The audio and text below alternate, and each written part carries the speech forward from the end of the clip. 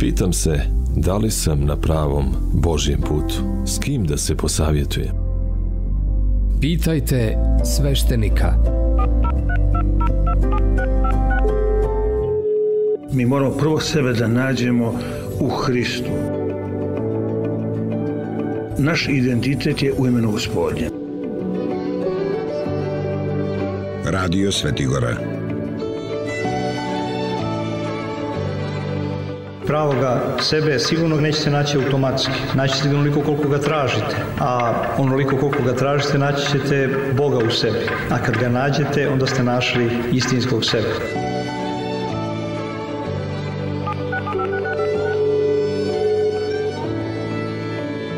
Pitajte sveštenika. Sveštenik odgovara na pitanja slušalaca nedjeljom u 21 sat na Radio Svetigora. Pitanja možete postavljati na brojeve telefona 020 228 555 i 068 410 045 i mailom na adresu pitajte.sveštenika.etjahu.com Voditelj emisije Slobodanka Grdinić. Pitajte sveštenika.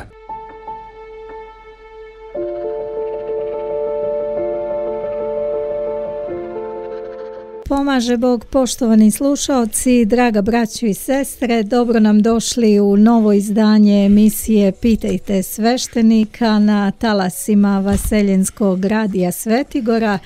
Večeras u našem studiju ostroški blagoslov i velika radost da je naš radio blagoslovio i da je ovdje sa nama u studiju arhimandrit Sergije Rekić, iguman manastira Ostrog. Oče, blagoslovite. Pomaže Bog i Bog da blagoslovi. Hvala oče, evo molimo i za vaš ostroški blagoslov i molitve kod svetog oca našeg Vasilija Ostroškog. Da gospod Bog i sveti Vasilije i svi sveti Boži ugodnici blagoslove i o naše dijelo i slušanje slušalaca i oni koji će ponovo slušati da prije svega bude na slavu Božiju normalno time i na naše spasenje.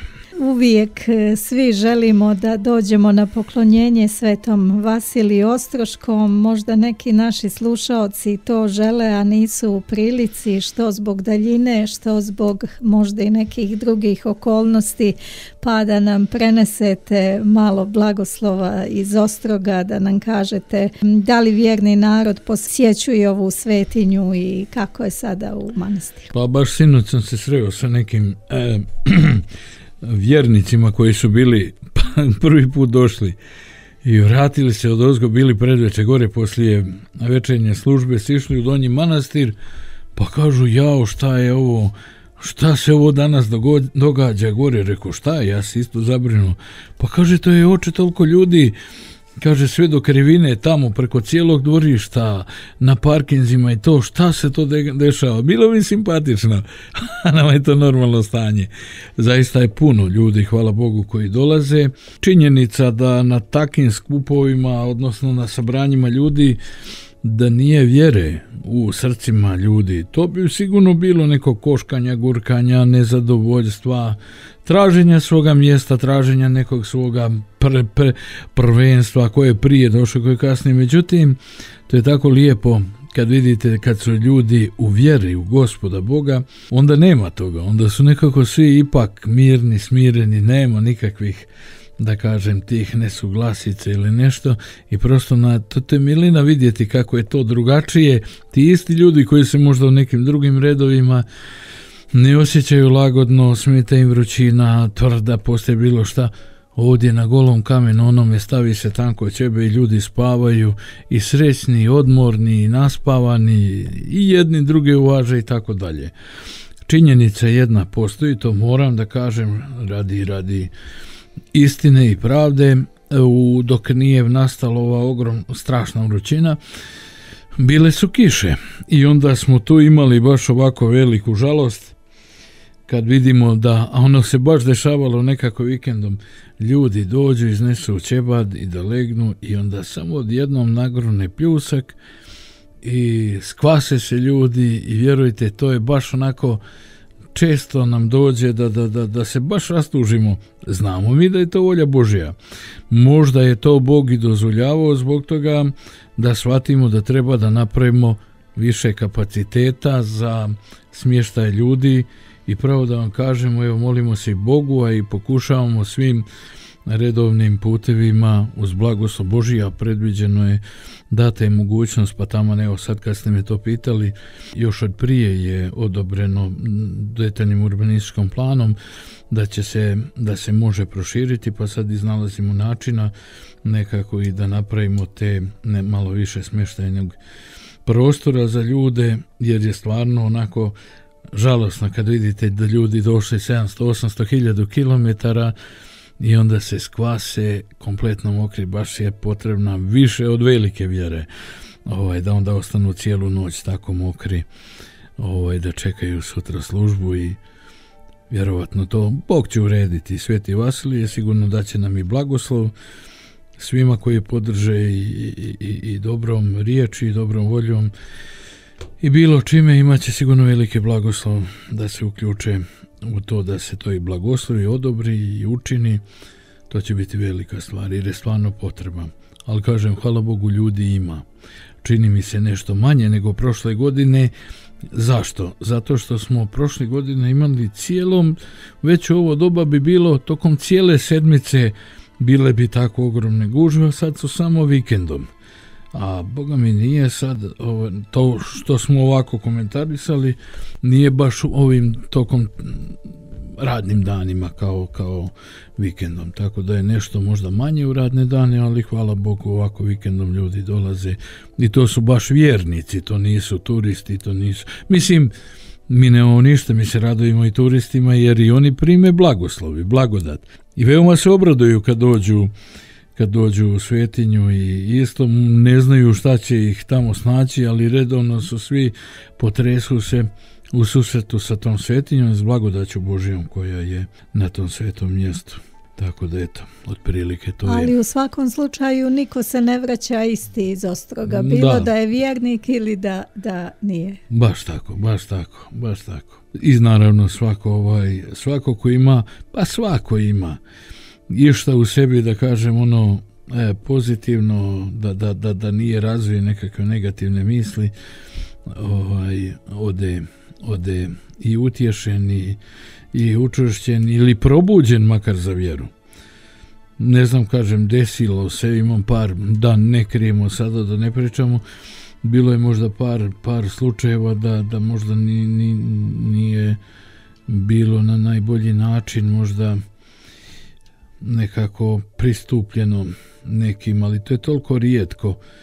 A hvala Bogu onda se i ljudi jave ako je neko tako nešto, pa onda porazgovaramo i hvala Bogu i, i njima bude to na spasenje, jer Bog zna zbog čega se desilo da se neko osjećao nelagodno tu, pa, pa onda gledamo da iscijelimo i, i, i to što se neko na primjer osjeća da je zapostavljen, da nije na vrijeme pristupljeno s molitvom i tako dalje, mada kažem stvarno se trudimo, eto i, i sveštenici i mi koji smo tu stalno, ovaj, da svakog čovjeka dočekamo, što bi rekao mitropolit na golubinjim nogama, svaku dušu da bi bilo na korist njima i da ne bude nama na osudu da s nemarom ne dočekamo one koje je prizvao sami sveti Vasilije tu u svetinju i Bog. Kako kaže pjesma Danice Crnogorčević gdje ne ugaslo kandilo e, vjere sija pred moštima svetog Vasilija i ja predlažem da naši slušalci sad čuju ovu divnu pjesmu, a da mi potom pređemo i na ostale teme naše emisije.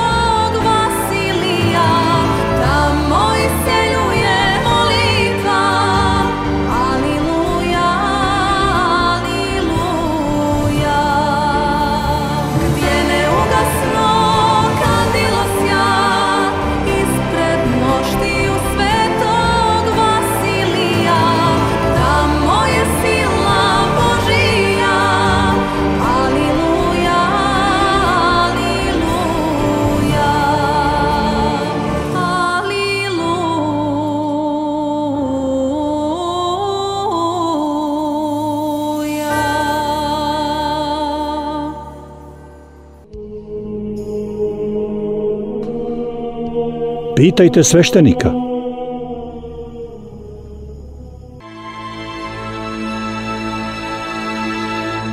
Poštovani slušalci, draga braćo i sestre, ovo su talasi Vaseljenskog radija Svetigora, emisija Pitajte sveštenika. Večeras imamo veliki blagoslov i radost da je sa nama e, u studiju arhimandrit Sergije Rekić, iguman manastira e, Ostrog, e, koji nam je u uvodnom dijelu govorio i kako protiču ovi julski dani u ovoj našoj najvećoj svetinji pored moštiju oca našeg svetog Vasilija Ostroškog čudotvorca.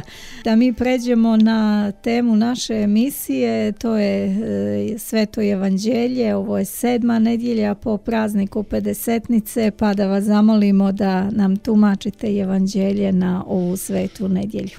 Evo ja bih znači ovako pročitao po baš iz samog evanđelja da se podsjetimo jer na kraju suština sve naše vjere i izvire iz ovoga iz ovih svetih iz ovog evanđelja kojima nas gospod Bog upoznaje sa sobom i sa nama samima.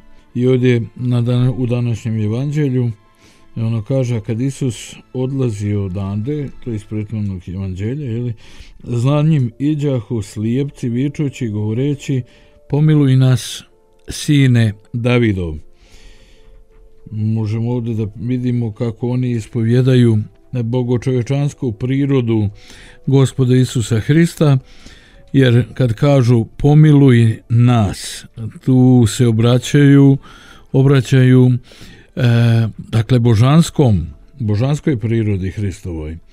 A sine Davidov, upravo ovo čovečansko i tako već ovdje vidimo kako su slijepci instinktivno osjećali da je gospod Isus Hristos bogo čovjek.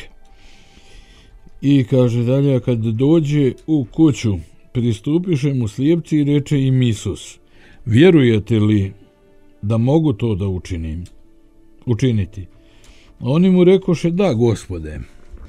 Tada se dohvati oči u njihovi goreći, po vjeri vašoj, neka vam bude. I otvoriše im se oči. I oči. Evo možemo stati ovdje, ovdje je jedna cijelina. Znači, vidimo ovdje kako gospod veliča i upućuje nas i uči o važnosti vjere. I danas smo baš i govorili na, na, na liturgiji, kao što rekao smo da, da, da jeste tako, da čuda Božija, da je to put, da čuda Božija bivaju od vjere. Svakako, ako i neko od svetih otaca čini, kao i sami slavom i milo sveti Vasilije, čini čuda, on to čini svojom vjerom u Boga, ali naravno, e, pretpostavlja se i očekuje se i vjera onoga koji treba da primi čudo, na kom treba da se izvrši čudo. Ovi su slijepci očigledno, očigledno vjerovali u, u, u gospoda i zbog toga vidimo da je, da je odmah njima se otvoriše oči. E, taj njihova vjera bila opravdana, dakle, odmah se dogodilo čudo, čudesno iscelenje. I onda kaže gospod, dalje im on govori i zaprijeti im Isus govoreći, gledajte da niko ne dozna. A oni izašavši razglašiše ga po svojoj zemlji onoj. Kada pak oni izlažahu, gle, dovedeš mu čovjeka nijema i bjesomučna. Dobro, to je drugi dio, to ćemo početi. Dakle, vidimo ovdje šta se dešava. On njima kaže, gledajte da niko ne dozna o ovome. E sad, nigdje ne stoji ovdje da je njih gospod zbog toga, da kažem, na bilo koji način sankcionisao ili da im je bilo gdje zamjerio, jer gospod bi mogao ovo da kaže, oni napraviše grešku. Oni nisu to e, njega razglasili zbog neposlušnosti, nego zamislite, zamislite kad sretnemo nekog duhovnog čovjeka, nekoga, a hvala Bogu, eto ja sam imao prilike da sretnem divnih svetih staraca, što u našoj crkvi, što da kažem i ba sve naša crkva naravno u pravoslavnoj crkvi ali kažem i u našoj pomjesnoj crkvi srpskoj i u crkvi i, i, i po Grčkoj i po Rusiji i po, e, gdje sam god ovako imao priliku da se obretem ili ako bi došao neko od staraca pa kad vidimo bilo je ljudi koji su taki duhonosci koji su nosili na sebi blagodat Božiju da čovjek prosto ne može da se ne zadivi tome i osjeća se kao da bi bio kriv ako bi prećutao da kažem tu blagodat koja, koja izvire sa nekoga od, od vremenom, dugim vremenom i podvigom dokazanih podvižnika. A to su ipak samo ljudi. Zamislite kako su oni, pod kakvim su oni bili utiskom, impresijom kad su se sreli sa samim gospodom.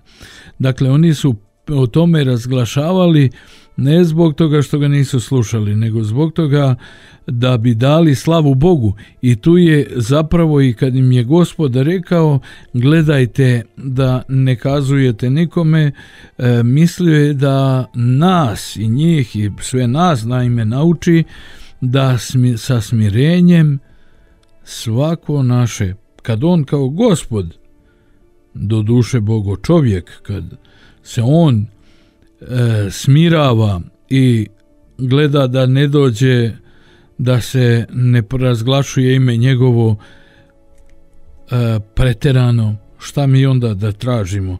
Zašto mi onda da kako mi onda da očekujemo da treba da nas neko hvali i plješti po ramenima i da kaže bravo dobar si tako dalje.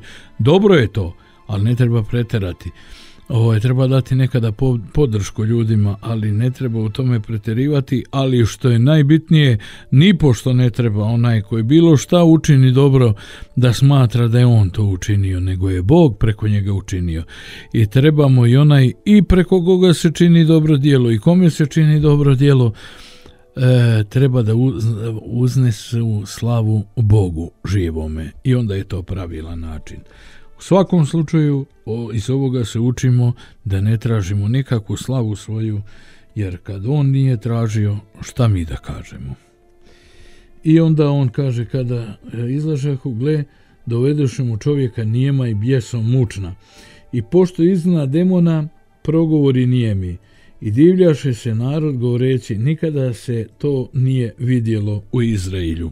Eh, znači, gospod je vidimo sad ovdje ovoga nije, on ga nije pitao vjeruješ li ili ne, nego tu eto nastupa e, njegova milost, njegova božanska promisao da ga iscijeli jer on kao nijem i bjesomučan nije mogao niti da iskaže pošto je bio nijem ali i, i, i, i sumašeći ovaj, kako će on znati da, da pravilno rasuđuje o tome da, da, da, da se udobio pitanje vjere i da, pre, da sad ispovijedi vjeru.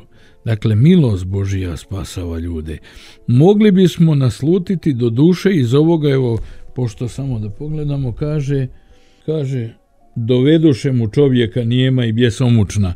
Ovdje možemo samo da ovako da primijetimo, da pretpostavimo i da, ne da pretpostavimo, nego očigledno je čim dovedoše e, njemu neki ljudi toga nijemoga i bjesomučnoga, dakle tu vidimo svakako da je bila prisutna vjera tih ljudi koji su ga doveli. I mi gledamo isto i kod slavom i milo svetog Vasilija, imamo vrlo čest slučaj da, da, da uslijed životnih nekih, da kažem, nepažnji, promašaja i, i, i, i sagrešenja, da se dešava, nažalost, možemo reći i sve češće, da ljudi zapadnu u ozbiljniju posjednutost od strane nečastivoga, ali eto vidite vjera onih koji ga dovedu kod sveca, često ta vjera bude presudna te, te i zbog vjere njihove Bog da da se desi oslobođenje od demona. Naravno podrazumijeva se i promjena života i očekuje se promjena i, i, i života onoga koji se iscijeli jer na jednom mjestu gospod kaže idi i ne griješi više da ti nešto gore ne bude. Nije to što se gospod na nas e, razgnjevljuje i tako dalje, nego mi sebe otvaramo za uticak, utica i ulazak demonskih sila na nas i u nas. Ako bismo nastavili naročito poslije jednog osvješćenja, pokajanja i isceljenja da nastavimo dalje po starom ili još i gore. Dakle, tu se vidi da je gospod milostivo iscijeljuje i pomaže i čak i kad, kad neko drugi se za nas potrudi. I pošto izgna, izgna demone, pro, progovori nije mi tu kaže, i narod se divi i kaže nikada tako nešto nije se vidjelo Izraelju, a sad pazite šta kažu fariseji, ljudi koji su e, bili zainteresovani za pitanja vjere, koji su definitivno, definitivno imali neku vjeru u Boga, ali nažalost nisu se oslobodili od jedne vrlo loše i štetne osobine, a to je ljubomore i zavisti. I šta će oni reći umjesto da kažu slava ti Bože kad ovo vidje smo, oni pomračeni ljubomorom i zavišću kažu pomoću kneza demonskoga izgoni demone. Zamislite, kad čovjek ima tu neku zlu mise u sebi, kad, ga, kad njime vladaju ljubomora, kad vlada zavist, kad, kad, kad čovjek uvijek samo sebe iznosi, pa i evo i zbog toga je vjerovatno gore, gore poučio prije ovoga što će se desiti, gledajte da niko ne dozna, pokazujući da je smirenje najsigurniji put u duhovnom životu, oni sad govore ovakvu strašnu stvar i to se može slobodno isto podvesti pod hulu na duha svetoga, jer duh sveti, naravno sveta trojica, iscijeljuju bolesnoga ovoga obuzetog demonima, a oni ni manje ni više umjesto da proslave duha svetoga, oni hule na duha svetoga koji iscijelio demonizovanoga i kaže pomoću kneza demonskoga to čini bezumlje. A opet ponavljam iz razloga zavisti jer narod reče nikad ovo ne vidi smo Izraelju. Zaista Hristos jeste jedino novo. I kaže dalje, i prohođaše Isus po svim gradovima i selima, učeći po sinagogama njihovim propovjedajući evanđelje o carstvu, isceljujući svaku bolest i svaku nemoć u narodu. Dakle, jasna je stvar, gospod je svojom božanskom silom isceljivao narod, jer kao Bog, Bog ljubav, Bog koji je, da kažem, kroz, kroz svoju žrtvu unio novo rođenje, preporođenje lju, roda ljudskoga, pobjedivši smrt i davši potencijal vječnog života svima onima koji povjeruju u njega i nastave i počnu da žive po njegovim Božijim zakonima i zapovjestima i, i, i, silama kojima koje se spuštaju na one koji, koji poštuju Boga, on e, kao takav Bog iscijeljuje i iz ljubavi svoje, ali Boga mi i nekako i da se vidi da je Bog on tako misionar i on na taj način i potvrđuje. Iako smo na početku rekli da vjera da čuda bivaju od vjere i trebaju da bivaju od vjere, ali svakako ovdje su i ta isceljenja i sva ta čuda došla i kao utvrđenje, tako da i vjera naša nekada može biti za isceljenje i utvrđenje ljudi i da time još veću blagoslovi, blagoslovi, blagodat dobijemo od Boga, jer će našom vjerom desiti se čuda kroz koja će pak opet ljudi koji nas gledaju proslaviti Boga i povjerovati i sami se uključiti u život po evanđelju.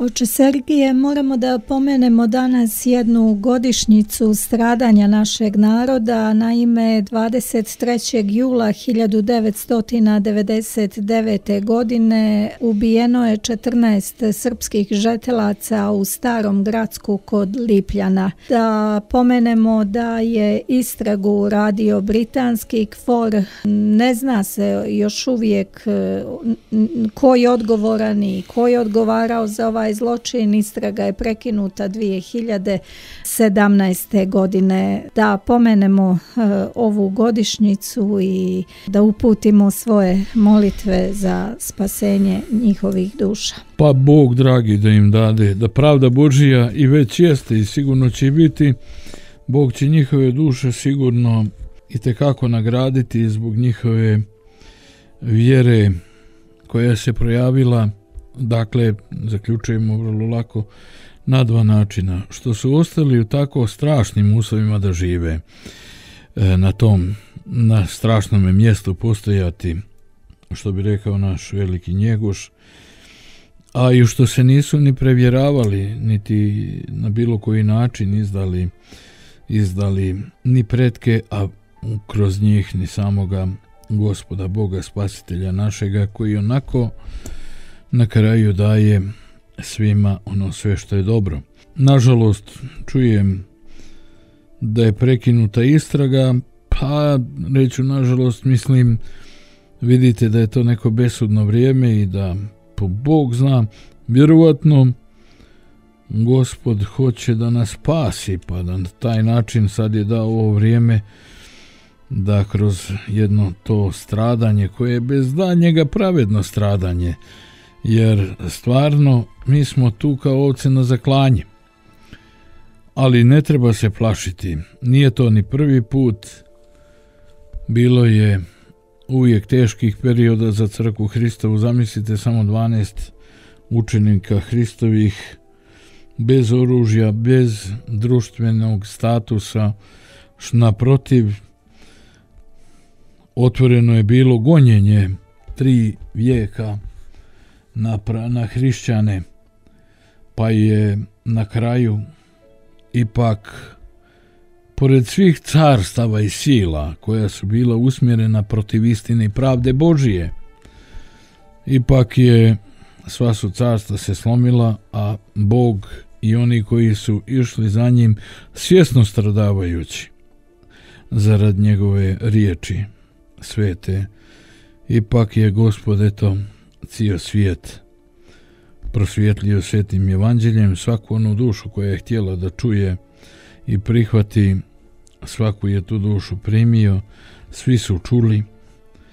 Tako da ja vjerujem bez obzira na ta mnoga stradanja da ja vjerujem da samo mi istrpimo do kraja da ostanemo vjerni da ni u jednom momentu ni ne posumnjamo u to da trebamo sačuvati u našim srcima, Boga mi i u našim riječima i dijelima, da ni jednog momenta ne izdamo taj kosovski zavjet s kojim se nije igrati. Pazite, to sve mi stvari posmatramo iz trenutka sadašnjice, ali vidjet ćete, vrijeme je sudilo, pokazali smo da je vrijeme i pravda Božija prosto presudila mnogima prije koji su izdavali i prodavali ovaj svetinju za manje ili više nekih zemaljskih grumenova, nečega što je imalo vrijednost, ni ovo neće proći ni bez kazne za one koji se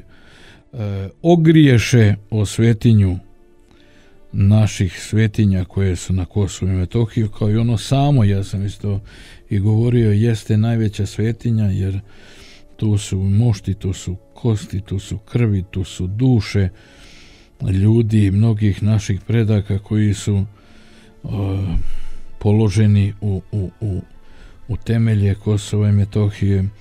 Tu su eto svetinje koje su nešto najljepše materijalno blago koje je stvoreno i nastalo iz vjere u živoga Boga. Tu su mnoge i čudotvorne i mošti i svetinje, ikone i Boga mi divni monasi, monahinje i vjerni narod koji još uvijek tamo obstaje, pa da pravo kažem bez neke ozbiljnije podrške nas koji smo na neki način koji nismo tamo, a trebali bi da budemo što više. Tako da ja vjerujem da će i žrtva ovih svetih mučenika, 14 14 mučenika, i ona će biti samo još jedan razlog više da će što prije pravda Božija da presudi istinu, a ovi zemaljski sudovi i onako misle da će se obračunati jednom za svakda sa Hristom, pa naročito tamo gdje ga najviše ima, to je između ostalog na Kosovo i Metohiji i njihovo će proći. Tako da eto. Da pomenem oče samo primjer e, Ljubice Živić, starice koja je zaista ispunila Kosovski zavjet svojim ličnim primjerom i posvjedočila da se zavjetna zemlja ne ostavlja. Ovo što reko ste da je ona svojim potomcima ostavila to u amanet i ona je zadržala sedam svojih unuka u starom gradskom iako su ubice njena dva sina i očeva ovih njenih unuka još uvijek tu i tu da prolaze. Čak i rekla jednom, podizala sam svoje unuke, a niko mi suzu nije vidio. Evo se na ježih, ako zna, nisam znao to, ali dovoljno ovdje. Šta reći na to? Živ je Bog naš i živa je duša naša, dok imamo jednu takvu osobu, a naročito i te njene, njen unučad, ja se ne brinem. Kad toga ne bude, kad nas budu kad nam budu donosili velike pakete koje čega gluposti koje kakvih šminke i, i igrački nekakvih i kad nas budu tapšali e onda ću se brinuti a sad se ne brinem dok ima takih primjera sad sam još sigurniji da ovo što sam malo čas rekao da će potvrda to vašim potvrda riječima. zaista i riječima i vjerimo je ja se čusto vjerujem ne, ne vjerujem siguran da će to biti tako znate da će biti tako a sto posto jer je Bog živ i pravda njegova. Jedino ako Hristos dođe u međuvremenu skorije pa da, da ne treba sad nešto da se tu da komešljamo, ali, ali vjerujem ja ovo da će biti to da će se pravda Božija izvršiti. Kad se najmanje, znate kad Bog djeluje, kad više ljudi nemaju. Jednom je Sveti Jovan Zlatousti rekao, kad se svaka nada izgubi, onda se najviše nadajte jer tad djeluje Bog. Kad nas sve izda, i ljudi, i vrijeme, i priroda, i bogatstvo, i sve, e tad se nadamo, jer tad Bog uzima stvar u svoje ruke i završava svoje to na čudesno brz i efikasan način. Ja pravo da vam kažem, bio sam u Carigradu. Tamo ljudi, oni koji su sada, mislim, koji su uzurpirali tamo, naročito oko hrama Svete Sofije, da vidite, oni su još uvijek nemirni. Oni nemaju mira na licima. Mi idemo, mi prolazimo tamo, iako smo na prividno tuđem. Ali zapravo mi se tamo osjećamo, mi smo opušteni, smijemo se, radujemo se, lijepo nam je. A oni imaju sve a nemaju mir u duši. I to se vidi i ovdje isto. Oni su tu kao nešto napravili, stotinu temelja, krovova, svašta, evo i ovdje, kažem, kod nas. Ali nemaju mir. Oni se stalno osjećaju instinktivno da je samo pitanje kad će doći kombajn. I onda je to Boži Ne pričam ja ni o čemu. Bog zna na koji će način da poženje i da odvoji žito od kukolja. Tako da ja nisam zabrinut, samo sam zabrinut za naš grijeh i za našu nevjeru i za našu, i našu slabu, da kažem, neka, ako, je, ako je njima neđe nekakvu kil, mlitavost. A za drugo se ja ne brinem.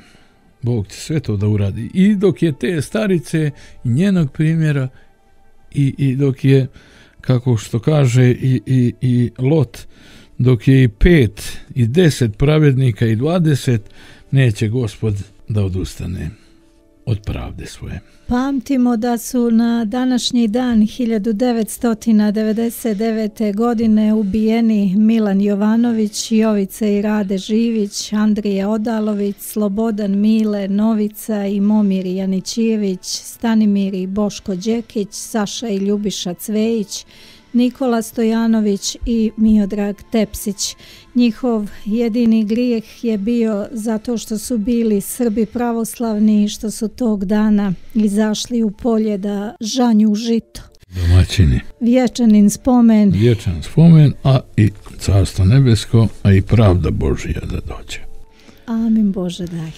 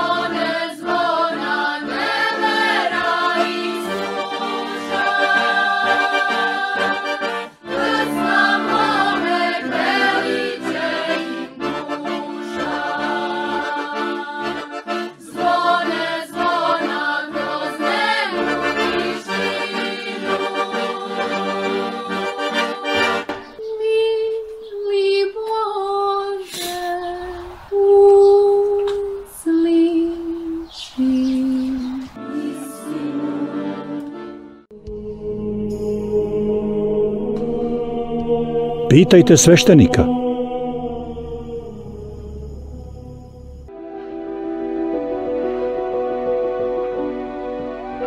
Poštovani slušalci, pratite emisiju Pitajte sveštenika, talasi su Radija Svetigora. Imamo blagoslov i radost da na naša pitanja večeras odgovara Arhimandrit Sergije Rekić i Guman manastira Ostrog.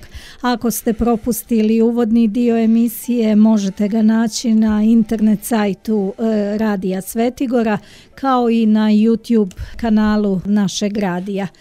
Oče, evo pitanja našeg slušalca, e, s obzirom na to da je duhovni prostor vrlo opasan, na što se mora obratiti pažnja prilikom čitanja svetotačkih spisa, da bismo mogli da ih pravilno i tačno razumijemo, šta bi nas moglo dovesti do pogrešnih zaključaka i time uvesti u prelest, pita slušalac. Opasan je za one koji, koji nemaju dobru namjeru. Ja bih rekao ovako – Sveti Ivan Lestični kaže na jednom mjestu kad govori o duhovnom rukovođenju i neophodnosti duhovnog rukovoditelja, čovjeku koji kreće na put na put duhovnog usavršavanja, kaže čini mi se, ne čini mi se, nego jeste u jednoj knjizi koja je, koju je otac Justin napisao duhovni živ, monaški život po svetim ocima.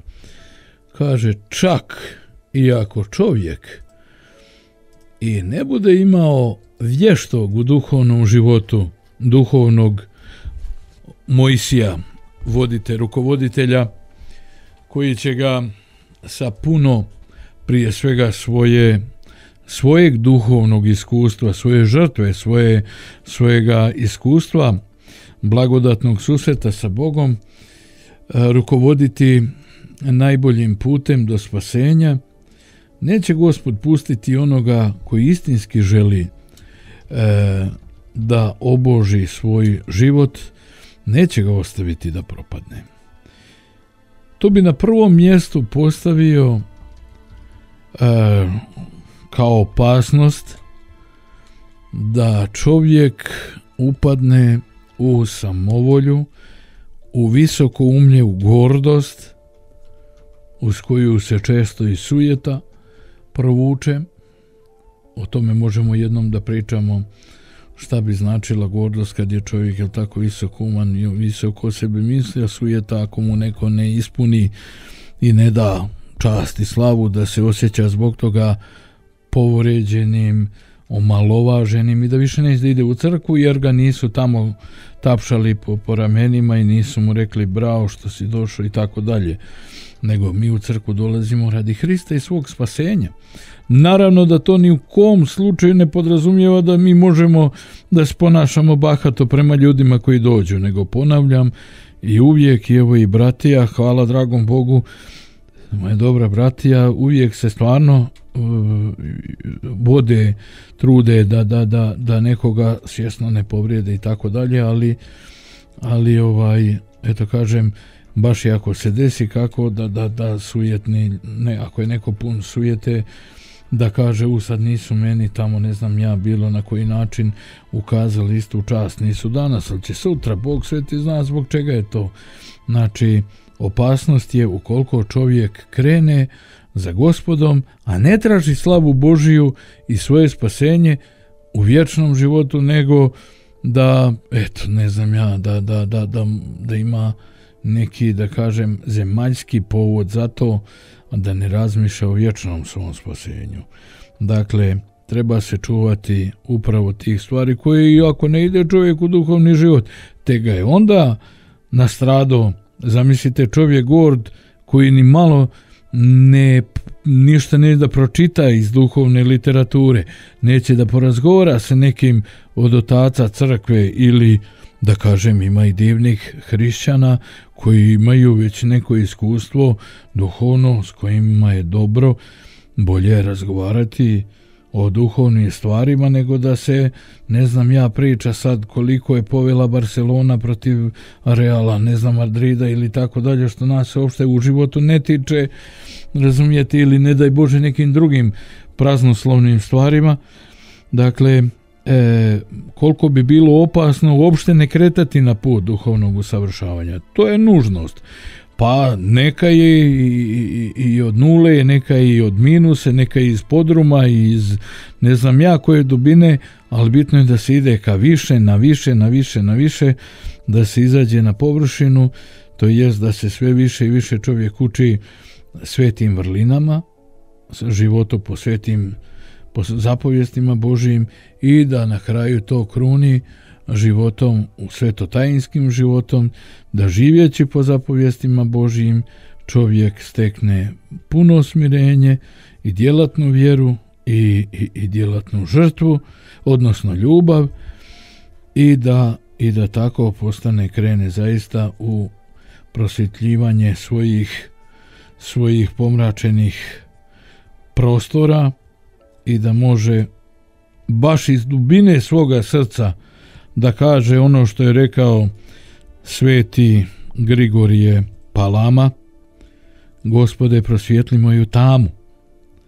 E sad kad spomenu smo Grigorija Palamu dozvolite mi da samo kažem volio bi da naglasim mi zaboravljamo da je sveti car Dušan car Dušan naš Nemanjić da je on otkupio svet, svetoga Grigorija Palamu iz Saracenskog grobstva i proveo puno vremena, dugo, dosta vremena s njim u duhovnim razgovorima i, i da ga je izuzetno cijenio sveti Grigorije Palama i naučio mnogo, mnogo duhovnim, mnogim duhovnim tajnama, to je očigledno, i vidite on gradi u Prizrenu. Eto kad smo, vraćam se na Kosovo, i Prizren i Dečane Uvijek. i sve. Da, i vraćamo i, i jesmo. Dakle, i on podiže i Arhangele i Dečane i još mnoge druge svetinje. Skoplje, Troje Ručicu u Skoplju, evo sad će uskoro biti praznik Svete Troje Ručice. Eto i da naglasim, ajde bit će svakako sigurno na radiju da će utorak biti osvećenje temelja crkve Troje Ručice u Kličevu i ko Bog da će to biti jedan veliki događaj i tako. A opet, evo, opet sve ide s Kosova. I od svetih Nemanjića i od drugih svetih naših. Eto, upravo nam je u prošlu nedjelju otac Velimir Jovović bio gost u emisiji. On je Ne, najavio uh, osvećenje crkve uh, sve, presvete Bogorodice Trojručice u Kličevu uh, kod Nikšića. Poštovani slušalci, evo da mi nastavimo sa pitanjima. Oče Sergije, slušalac je zamolio da prokomentarišete riječi proroka poslušnost je bolja od žrtve. Pa da, gospod kaže, to su i riječi kaže, e, milosti hoće, ne žrtvoprinošenje. Samo žrtvoprinošenje ustanovljeno jeste kao, kao poklonjenje Bogu i kao, da kažem, izraz izraz vjere i bez njega da su te starozavjetne žrtve i bile bile primane kao, kao bogugodne žrtve. Međutim, kad kaže i sami prorok za žrtve paljenica ne mariš, žrtva je Bogu duh skrušen i smiren i to neće Bog odbaciti. Zato je upravo, tu je i odgovor i sve, jer poslušnost Bogu je daleko veća baš zbog toga jer to podrazumijeva da je čovjek cijelim svojim bićem u poslušnosti Bogu, zakonu, Božijem pravilima, da kažem i, i, i, i svetim tajnama koje su koje nam je Bog dao, time izražavamo najdublju vjeru i najiskrenije i potpunije povjerenje Bogu i da na taj način čovjek u poslušnosti Bogu ali je zaista Bogu. Ne kažem ja ljudima koje kakvim moćnicima koji su sami zalutali, ne mogu druge da vode, nego Bogu i onima koje je gospod Bog postavio i koji, i koji sami žive po riječi Božjoj. Dakle, i s ljubavlju se staraju o povjerenom narodu. E, to znači da u toj poslušnosti čovjek usaglašava svoj život sa voljom Božijom, a volja je Božija da se svi ljudi spasu i dođu u poznanje istine, istine Božije i pravde. Zato kažem samo prinašenje žrtava ništa ne znači ako mi živimo kako ne valja, ako činimo dijela zla, djela gnusno pred Bogom, ta nam žrtva nikakva neće doći na korist.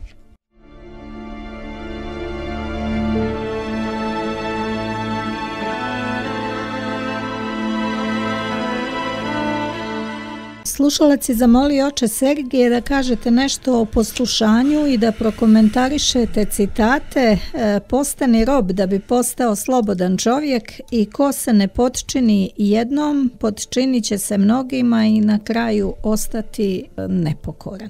Jednom smo bili kod oca Tadeja u Vitovnici, koliko sjećam, i on je tako nama govorio o tome koliko, koliko je bitna poslušnost i, i, i Bogu, jednome, jedinome Bogu, i koji je postao a, rab Boži, sluga Boži i ko se u to, zato me ovo pitanje jako oduševilo jer me podsjetilo odmah na oca Tadeja i onda je otac Tadej govorio o tome kako je razlika, baš je na ovo pitanje on dao lijep odgovor, kaže čovjek koji se predao u poslušnost Bogu, on samo Boga sluša. I živi po Božijim zapovjestima, boreći se sa svim burama i iskušenjima koja vitlaju u njemu, naravno, kroz strasti, kroz, kroz dejstvo demona, kroz lične naše utiske, sjećanja, Bog zna šta sve, ne, ali on je stalno u pod blagim jarmom Hristovim jedino je Hristos taj kojemu on služi i a, a blagi je Jaran Hristov. I, i kraj toga puta onoga koji je koji nosi blagi Jaran Hristov jeste zamislite vječni život sa samim Bogom, prestom Bogorodicom, sa svima svetiteljima, svima u miru, u radosti, u, u, u sjaju, slavi Božijoj, slavi Carstva Nebeskoga, Vidite kako je osmišljeno to služiti jedinome Bogu. A kaže tada otac stade i smješeći se pa kaže, onaj koji je neposlušan i nepokoran, to je kao onaj konj koji nema gospodara, pa tako pasek na putu kraj livade, pa kako koji čovjek naiđe, on ga usjaše pa ga ponese, na, potera ga na jednu stranu, pošto nije njegov konj, on ga sjaše, naiđe drugi, uzjaše ga pa ga tera na drugu stranu i tako redom, a kad treba da ga nahrani i stimari, nema nikoga, jer nema svoga pravog gospodara. E takav je, kaže, i čovjek koji je neposlušan Bogu. Ne daj Bože, znate koliko toga ima ljudi koji se prepuste, pa sada da bi dobili možda, ne daj Bože, a moram da kažem, jer su i to pojave, da bi dobili neku, ne znam ja, Bog zna kako, neku materijalnu ili bilo šta, neku korist, neko od, od mladih duša, pa sebe dade u poslušnost nekakvome čovjeku koji mu pristupi ili joj, ili mu prije joj, joj, ovaj, pristupite zbog neke male, trenutne, da kažem, smiješno, a nema je ništa na svijetu što može da plati čovjekovu dušu, čime bi mogao čovjek svoju dušu da, da ovaj, da, da, da je proda za bilo šta, zbog neke male trenutne slave, časti ili zadovoljene sujete, čovjek, čovjek se da u poslušnost ovome, ovaj se i živi otera do nekog mjesta dok mu ne dosadi, kao i ovom konju što kaže otac Tadej.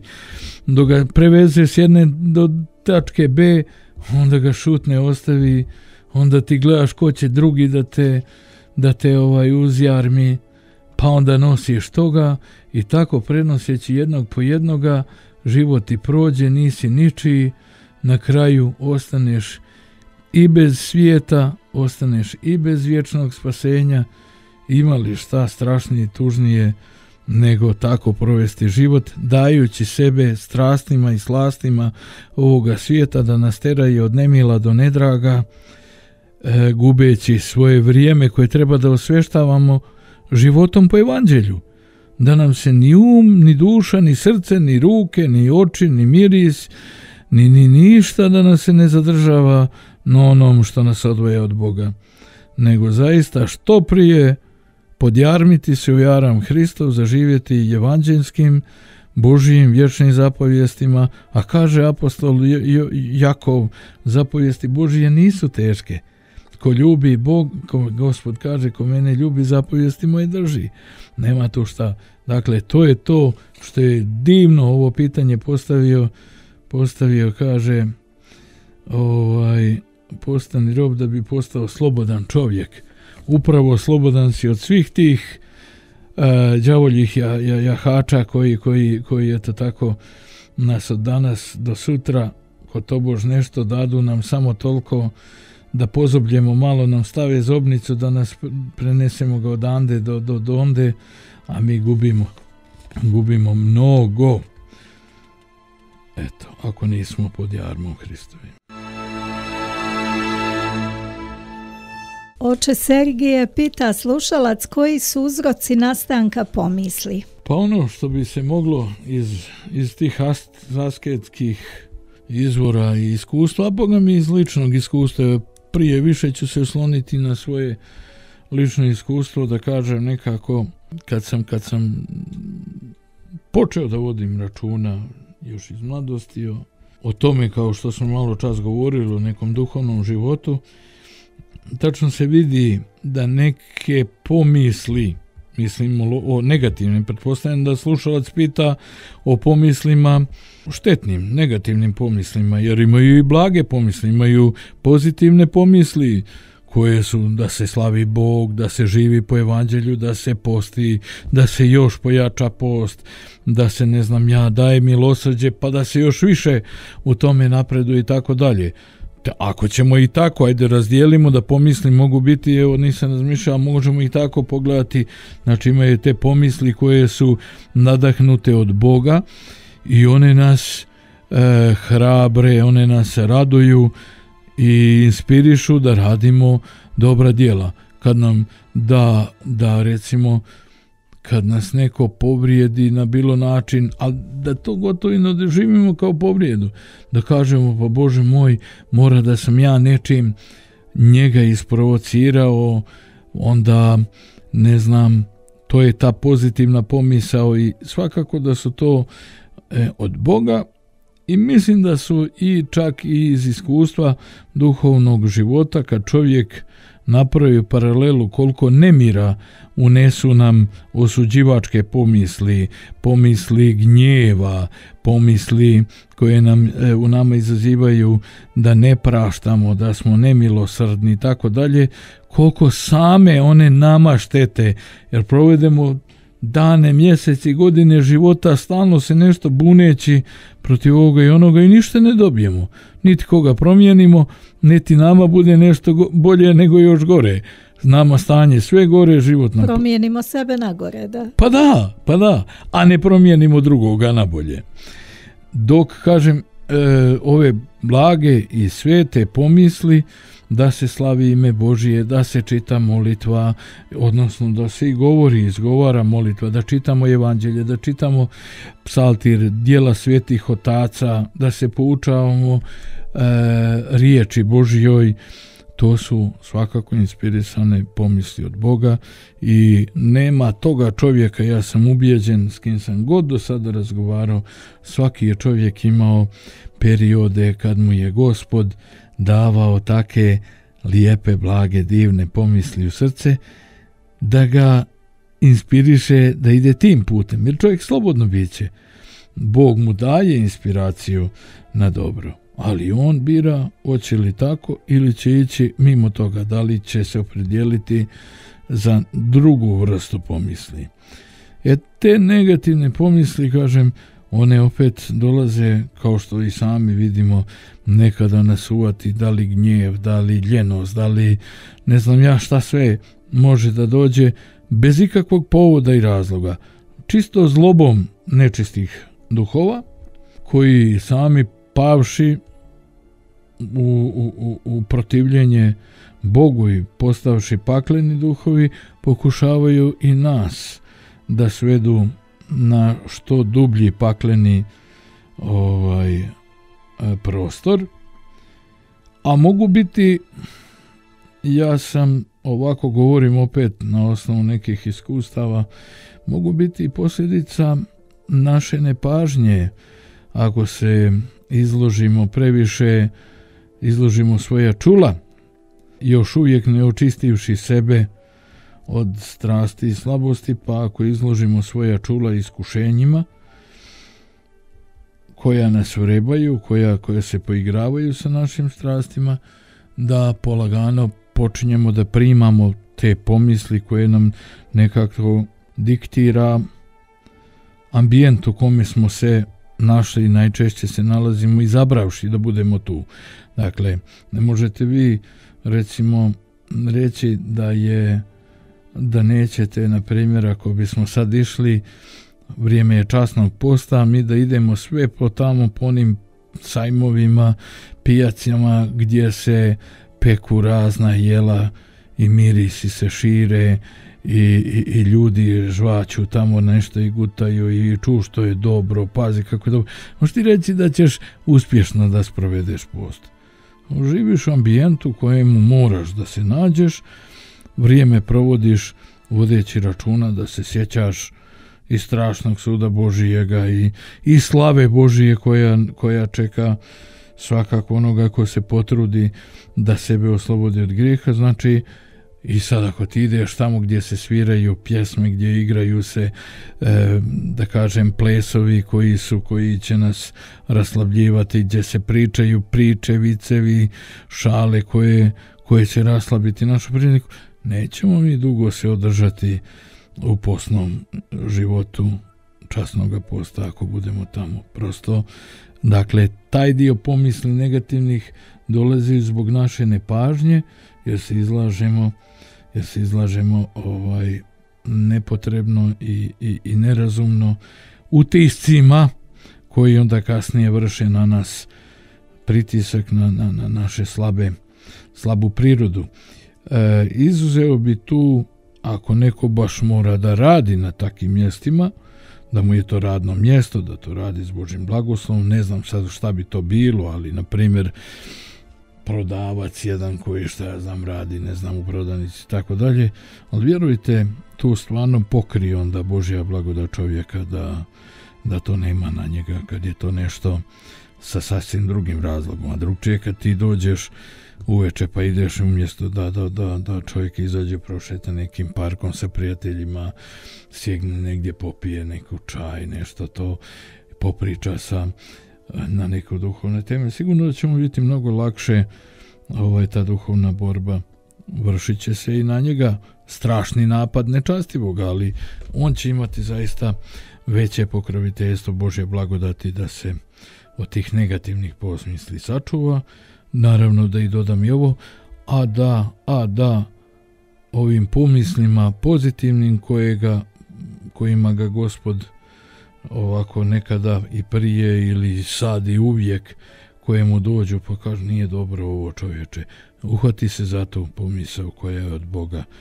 Kad nas ona opomene da griješimo uhvatimo se za nju počnemo da živimo po, po tome pokajmo se, ispovjedimo i sigurno će biti sve bolje. Možda sam ovdje trebao da dodam savjet da treba češće razgovarati sa svojim sveštenikom ili sveštenicima, ali bolje je najbolje je kad, kad čovjek ima jednog sveštenika, mislim pa svog parohijskog sveštenika, pa da se redovno ispovjeda i povremeno savjetuje, sa njim da razluči jarad od jagnjadi.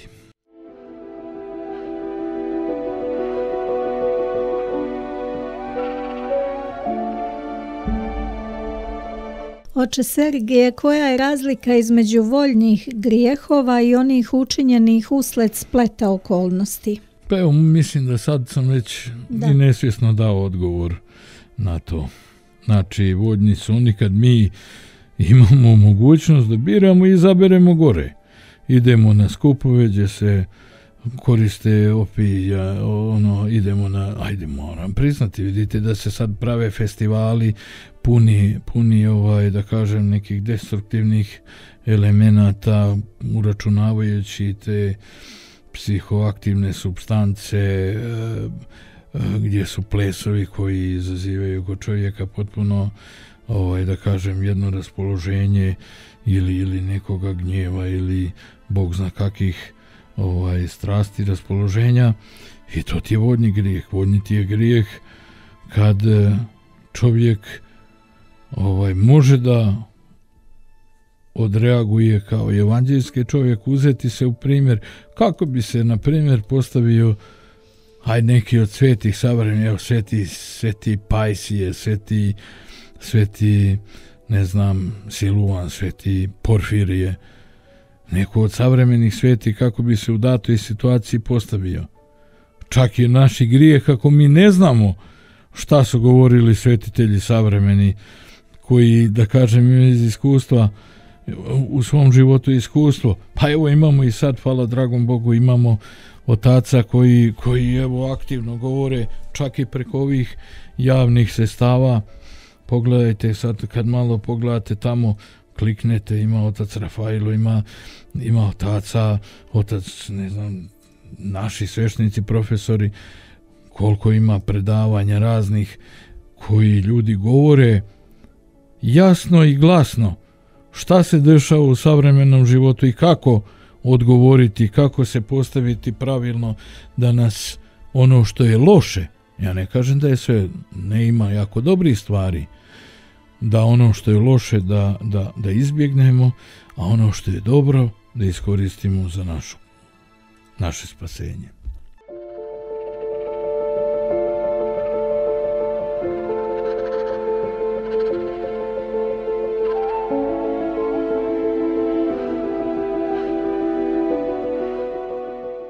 Slušalac oče Sergije pita da li potreba čovjeka da gospodari tvorevinom potiče iz želje da je upozna ili iz želje da je pobijedi. Šta znači gospodariti? Pazite, ako ćemo pravo e, i po, govorimo po stvaranju, da kažemo, čovjeka i čovjek je, kažu, i vidi se to iz knjige stvaranja, da je Bog stvorio čovjeka kao krunu svoje kreacije, svoga stvaranja i postavio ga da bude domaćin u cijeloj njegovoj tvorevini, da bude dobri domaćin, da vodi računa o svemu onome što mu je dato, da se na najbolji način da bude, da se stara oko toga, da bude ikonom i ekonom ikos kuća i nomos, jeli, mjera, zakon, pravilo, da najbolji način se stara o toj kući u kojoj živi u ovom, ovom svijetu i ovoj prirodi koju je Bog predivno stvorio i dao na službu čovjeku. Dakle, treba biti domaćin, ni ovladati, ni koristiti, ni ovo, ni ono, nego da čovjek voli Boga, da voli i tvar njegovu, samo da ne daje tvari svojstva božanskog, božanska ili tvorca, nego da poštuje tvar kao dar Boži njemu da mu, da mu koristi, ali da bude nježni i dobri pastir i domaćin u cijeloj ovoj prirodi. I to kad ima dosta naših, nema dosta, ali vidio sam nekoliko crkvenih učitelja savremenih koji su učestvovali u studijama čak što se tiče ekologije i, i, i, i pravoslavnog hrišćanskog življenja i zaista to je to da se, da se mi učimo uh,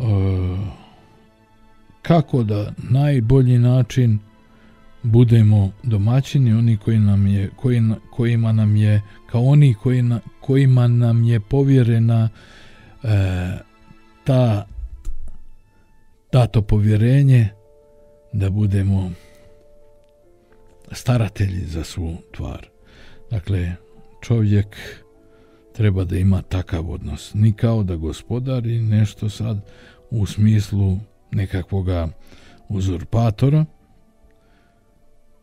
niti da bude lijen i da ne vodi računa onome što mu je dato, nego da se odnosi da se odnosimo. Pa to je najbolje, da imamo pravi. Ako budemo imali negdje, negdje sam čuo ili pročitao podavno, pa ne znam ni odakle mi je, ako nam je Bog na prvom mjestu, onda će nam sve drugo vrlo lako biti na pravo. Na, tako je, na svom mjestu.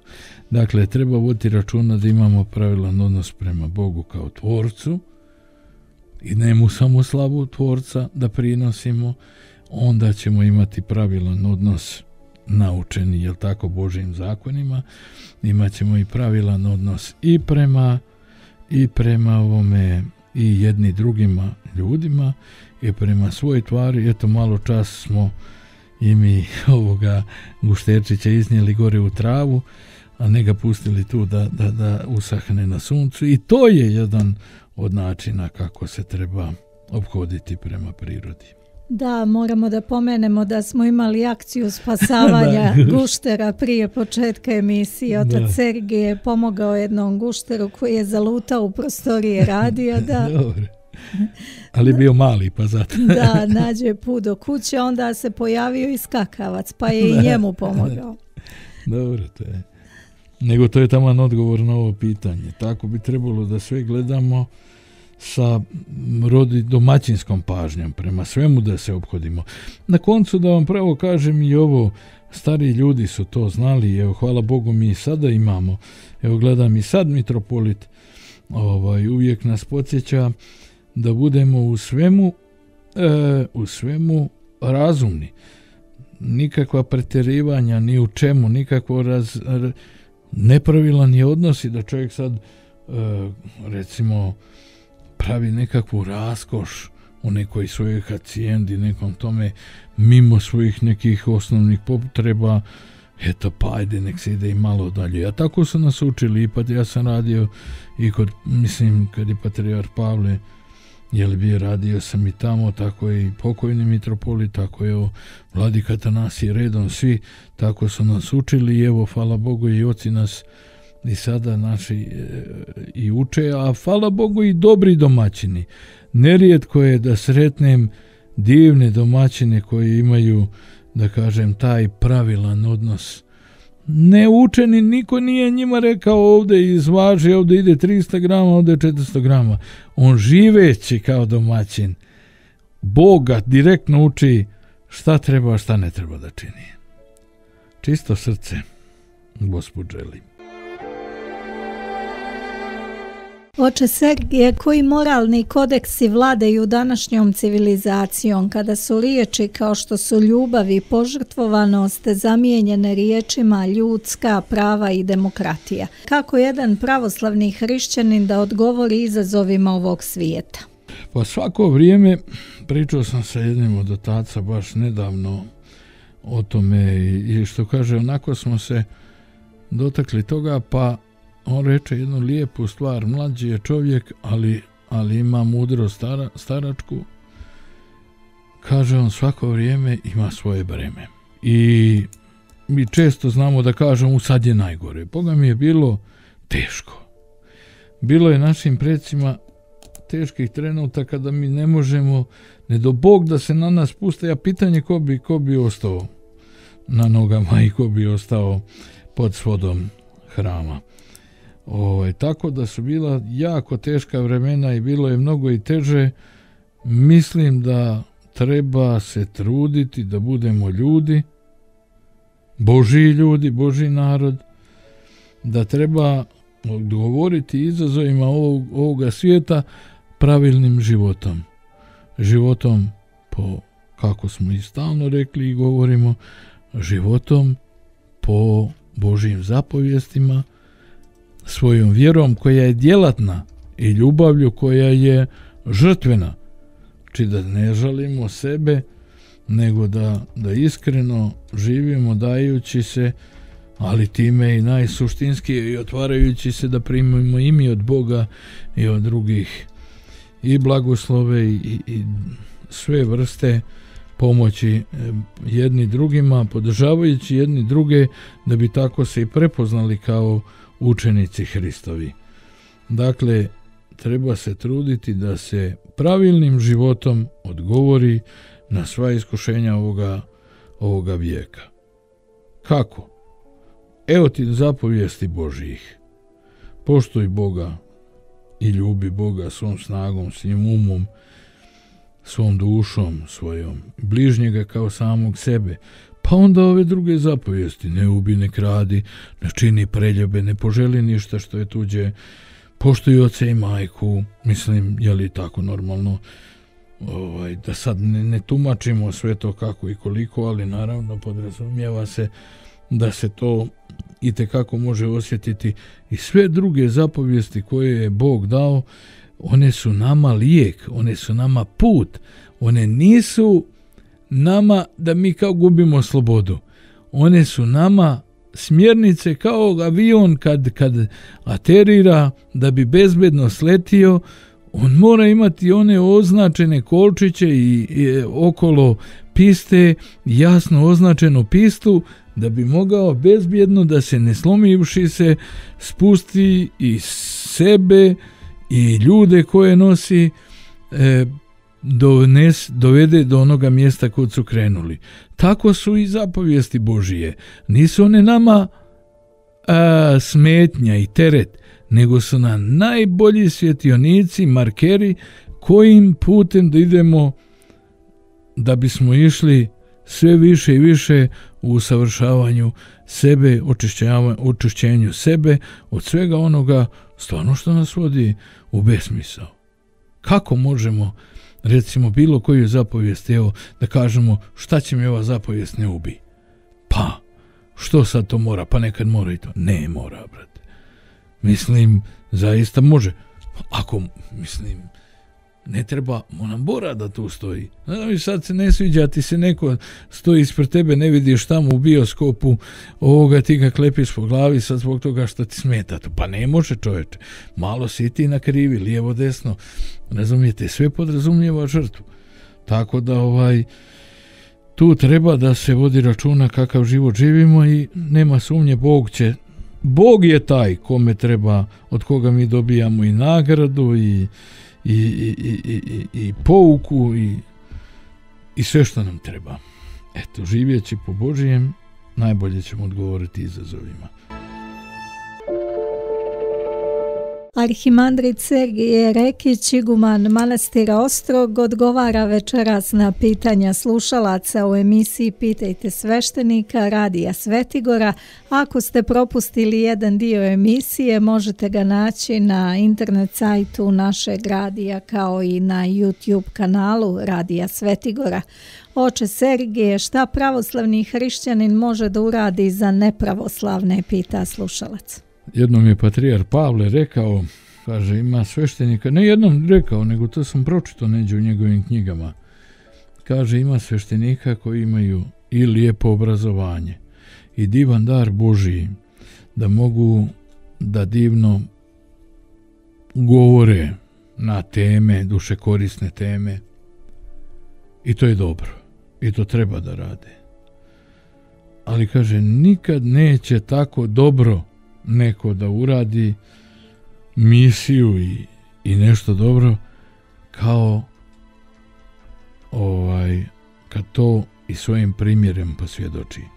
Tako da i onaj koji nema nekog naročitog dara, besjedničkog, ako živi praktičnim životom e, po evanđelju, on će najbolje da uradi za sve ljude koji su oko njega, a naročito za nepravoslavne.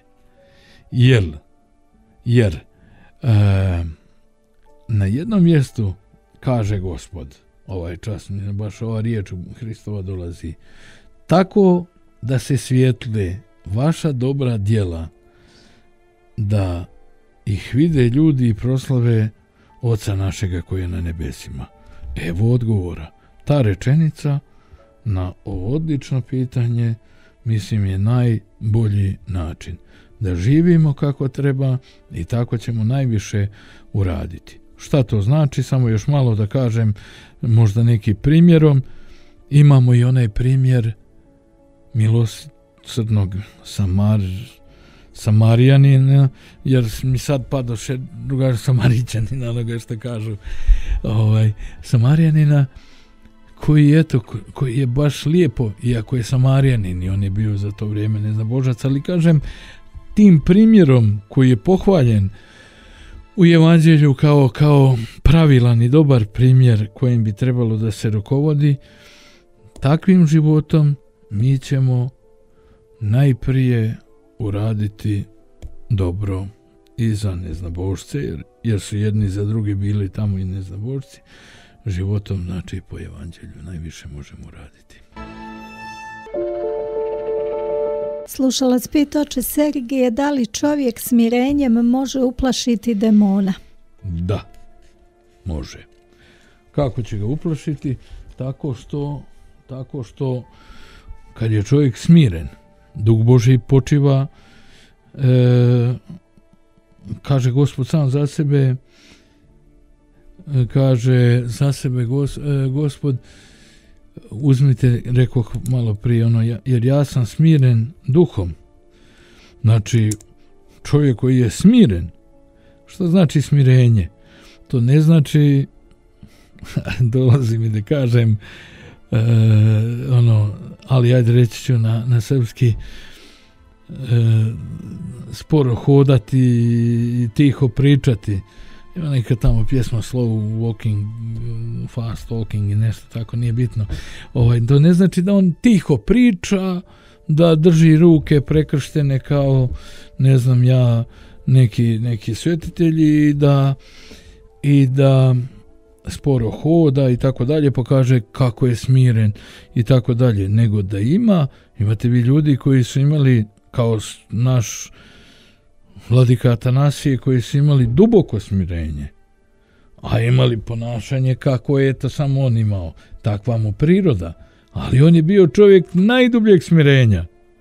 On nigdje sebe nije izdigao nigdje iznad bilo kog drugog bića, nego je duboko sastradavajući sa svakim i starajući se o svačijoj duši primjenjivo, kome utjehu utjehu, kome karanje karanje, kao što je i preporučio apostol Pavle Timoteju, koga treba da, da, da kako da istretira da bi ga doveo do poznanja istine i pravde, odnosno sagledanja sebe iz perspektive božanske vječnosti.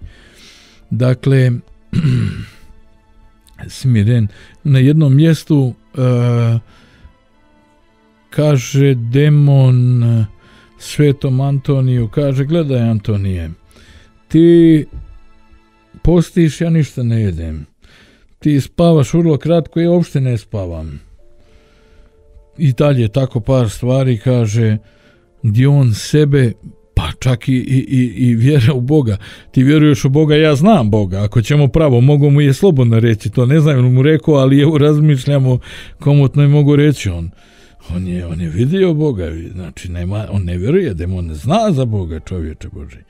On neće da se smiri, neće da se pokaje, neće da kaže slava tebi Bože moj, neka bude tvoja sveta volja. Ne, nego slava meni, neka bude moja volja. Ja sam mjerilo sve istine i pravde. I tu je, kaže demon, jedino te u smirenju ne mogu pobjediti, a u svemu drugi sam, drugom sam više od tebe uspoznaji. Ali smirenje je ono što Antonija postavlja iznad svega drugoga što mogu, mogu nepobožni ljudi ili demoni da projave carstvo Božije, a ne carstvo njega samog. Tako je, carstvo, tako je, carstvo mimo Boga je pakao. Oče, evo, Duš. ovo se nadovezuje. Kakva je razlika između ravnodušnog i čovjeka koji osjeća mir u duši? E pa zato da, to je, to je upravo to. Evo malo čas smo isto rekli, ravnodušan čovjek može biti, pa neću, što sam čuo od jednoga, a i pročitao sam na jednom mjestu, više puta sam to doživio da sam čuo. Prosto nisam vjerovao kad sam pročitao u žitijama svetim neke stvari, mislio sam da to nikad u praksi neću doživjeti. Bio jedan monah i njega su i govarali ovako i onako, on se držao potpuno onako ravnodušan bio.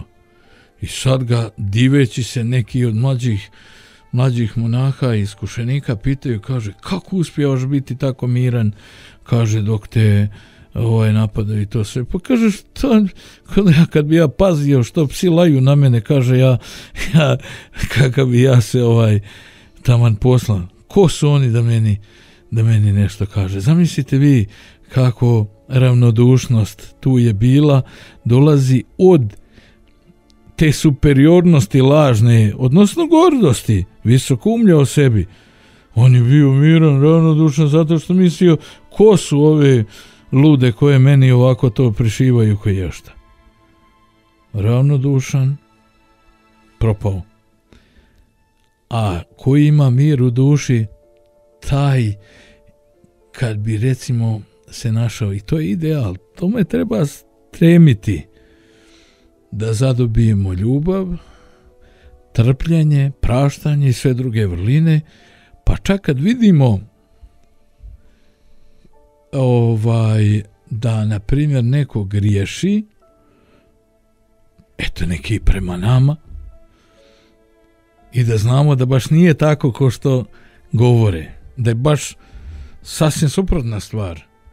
Mi da ne budemo ravnodušni nego da imamo mir u srcu jer znamo da Bogu polažemo račune ali e, mir takav koji je aktivan mir nikako ne može biti pasivan mir. To nije aktivan mir koji je koji e, ima akciju, a to je da kažem u sebi gospode prosvjetli brata ovoga, ovoga moga, da uzmemo na sebe što nas je često učili oci, da na sebe uzmemo krivicu drugoga, pa da, pa da kažemo sebi, gospode, evo ja ću postiti za ovoga čovjeka koji u neznanju ovako, ko zna zašto sam ga ja čak izazvao da on ima ovako pomisao na mene, možda je nekom mojom nepažnjom, možda je mojim nekim slobodnim ponašanjem, pa čak i ako definitivno i to otpada, naša ljubav, naša hrišćanska svijest mora da je takva,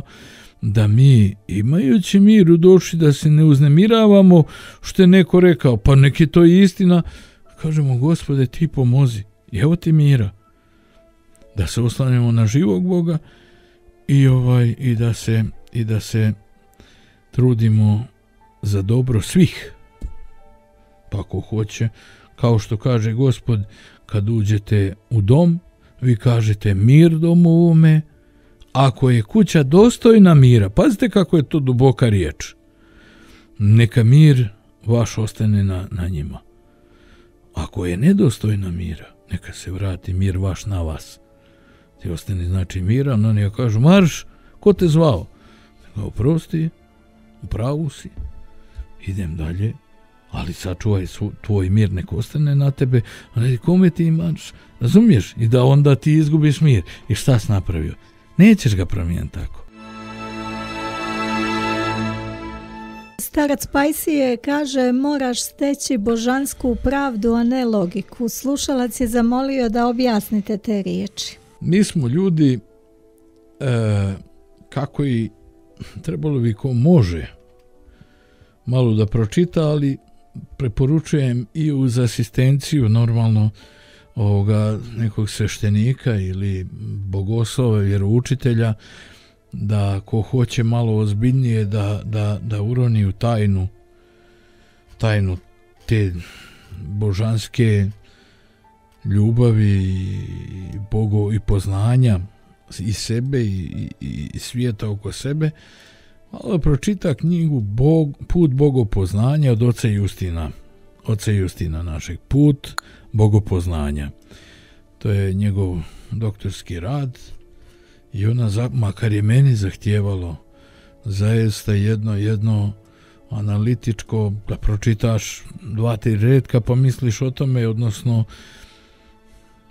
pro, tražiš duboki smisao toga, vrlo često dođe i, i, duže vremena i tako zaista zahtjeva sva čula i pažnja da nam bude koncentrisana kad je čitamo.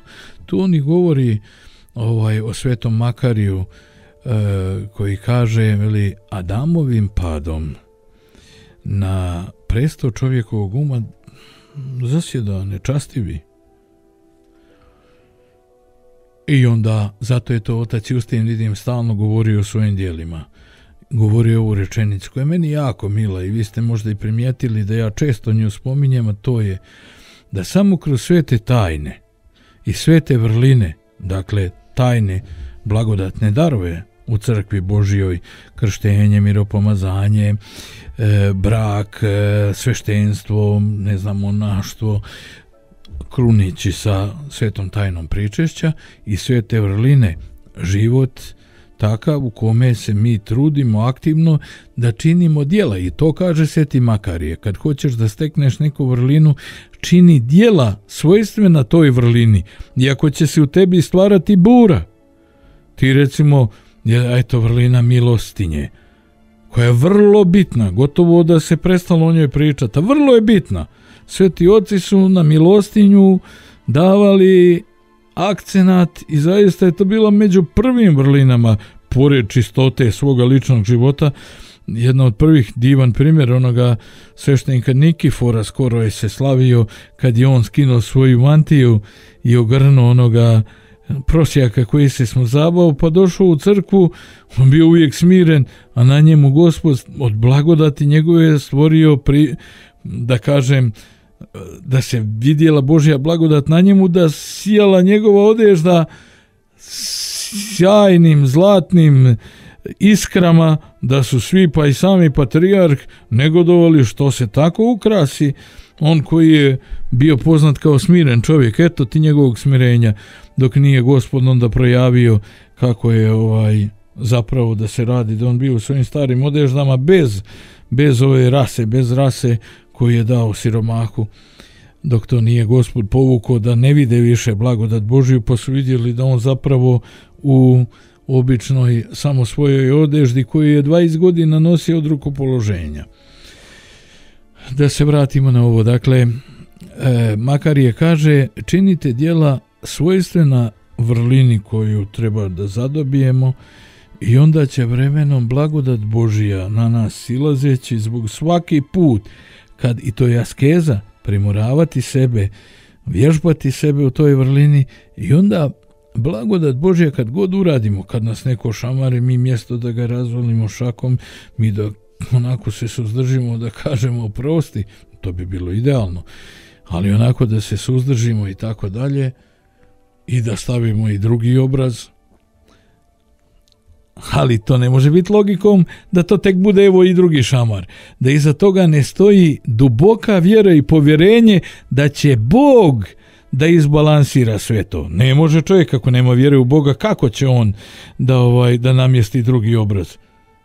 Nego to mora da dolazi da odmah nam dođe na, na um Bog. Kažemo, u redu, Bog je ovako blagoslovio da se stavi drugi obraz, znači Bog zna zbog čega je to rekao evo ga i drugi obraz, pa nek bije, dok Bog ne presudi šta je dobro. Razumijete to? Samo može iz vjere. E, takva logika e, koja je koja ne izvira iz evanđelja, ona ne može biti kako kaže pitanje, možete li mi ponoviti? Objasniti riječi starca Pajsija, moraš steći božansku pravdu, a ne logiku. E, razumijete? To govorim. Da. To je to. Jer naša logika bez Boga nama nalaže da znači moramo odma raketu da pošaljemo moramo reagovati. Pa reagovati. Moramo mi reagovati često i ovako, razumijete, i nekad je taka logika, ali kad? Kad štitimo bližnje svoje. Mi ne možemo kad vidimo da neko da nam neko šamara dijete, a mi da stojimo i gledamo ne daj Bože tako, kad vidimo da dođe neko da hoće da napravi nasilje pred djetetom i da ga u pedofiliju bilo koje zlobne vrste, mi da kažemo pa dobro, logika je da pustimo. Mi smo tu dužni da budemo domaćini i da se učeći se evanđelskim stvarima, da reagujemo, da kažemo ljudi ovo ne valja, nemojte to da radite i da branimo bližnje. Ali ako dođemo mi nekada džarnemo nekoga pa nam ovaj to, pa mi njemu, mi njemu to, to, to je druga stvar. Dakle, tu treba logiku evanđelsku primijeniti i onda je ona dobra. Logika, logika bez Boga. Evo do čega je dovela. da sve ono što je što je bilo lijepo, sveto i čestito i što i jeste, ne bilo, nego jeste, da je sad bruka. Sad se sramotama ponose.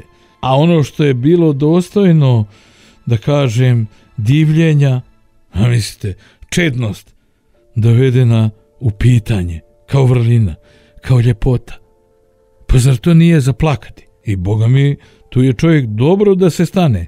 Kad je sad sramota reći da si čedan, da nisi uprljan smrdljivim grehom bluda, za koji gospod kaže svaki greh koji se čini izvan tijela je blud je taj u kome i tijelo i duša čovječe se smradi i gadi.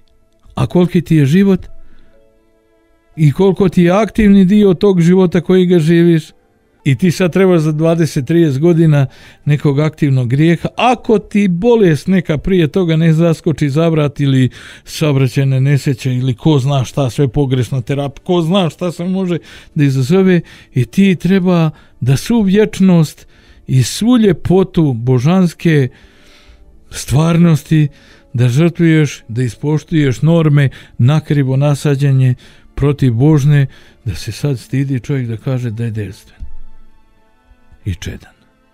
I da ne pričam druge vrline. Užas! To je stvarno stramputica i i ne samo to, sad je to već potpuno zaboravljena kategorija. Sad je sramota biti normalan. Mislim, znate šta hoću da kažem.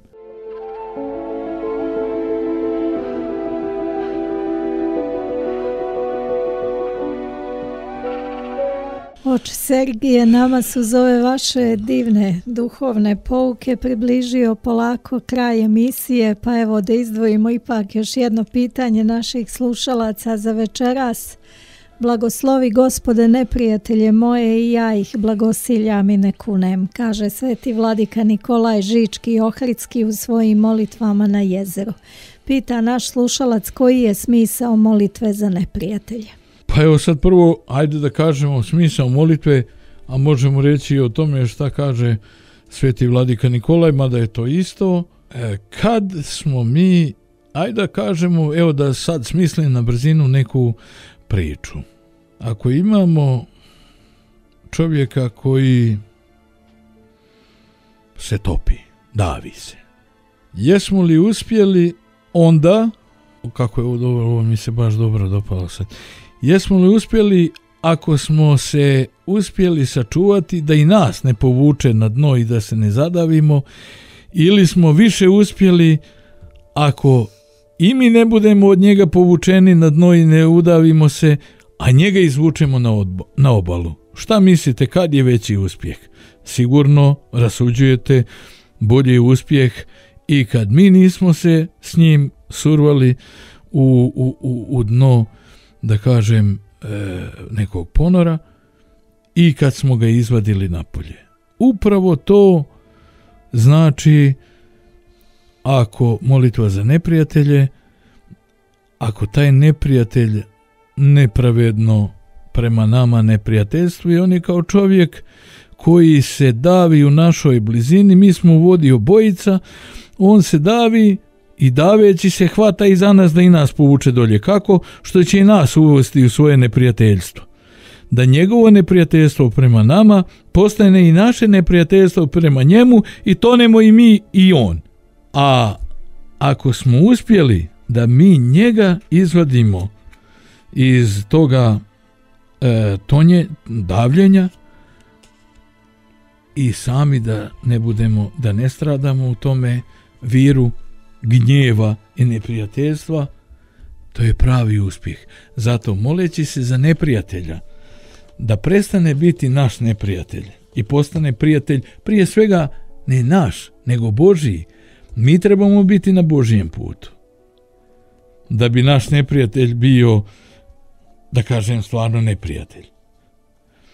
Mi da budemo na Božijem putu, a da se trudimo moleći se za neprijatelja često i našavši prostora da ga i razumijemo ili ne razumijemo, ali da ga ne podražujemo i razdražujemo više na tome, da on lagano otupi oštricu svoga gnjeva i bijesa i da dođe do spoznaje da kaže čovječe, pa ipak ja ne vidim u ovome potrebu da previše u ovome napredujem, da na taj način ovaj on se oslobodi od svoga potonuća, od svoga grča, recimo grč je uhvatio plivača i on se davi, da, da ga oslobodimo od toga grča, da i on kaže čovječ što će meni ovo?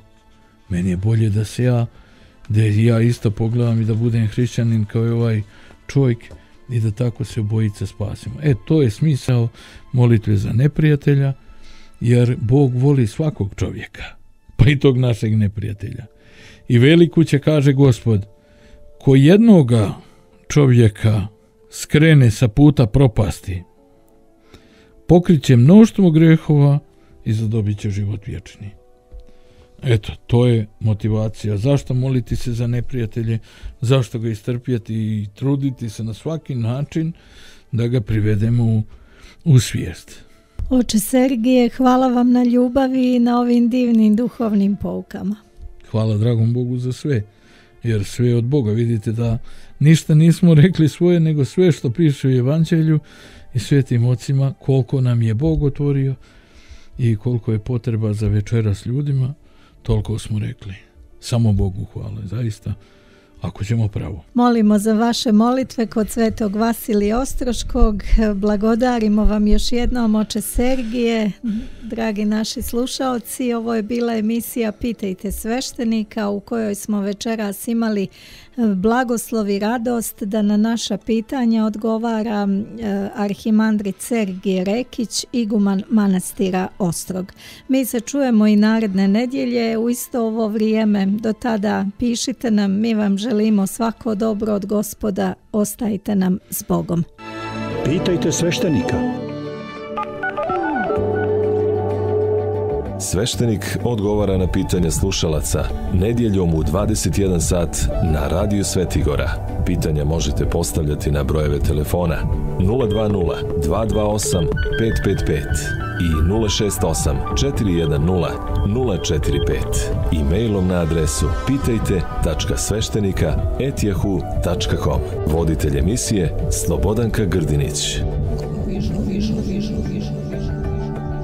Pitajte sveštenika.